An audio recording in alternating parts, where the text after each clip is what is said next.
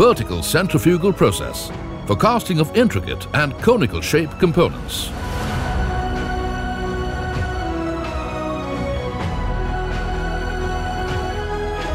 Horizontal centrifugal process for casting of tubes and cylindrical components.